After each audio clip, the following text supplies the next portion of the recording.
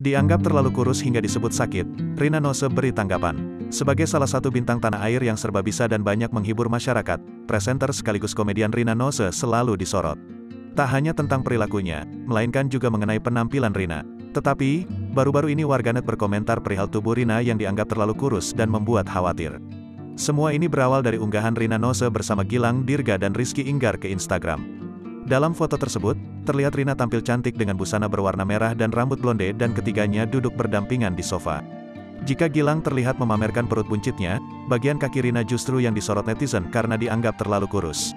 Melihat postingan tersebut tidak sedikit netizen yang akhirnya bertanya-tanya kepada Rina perihal kondisi kesehatannya.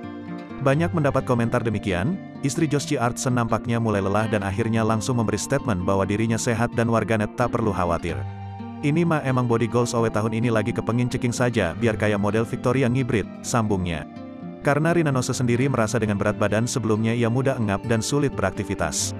Ada di tahap sekarang, Rina Nose merasa bersyukur karena dirinya sudah bisa mengatur kapan ingin menambah atau mengurangi berat badan.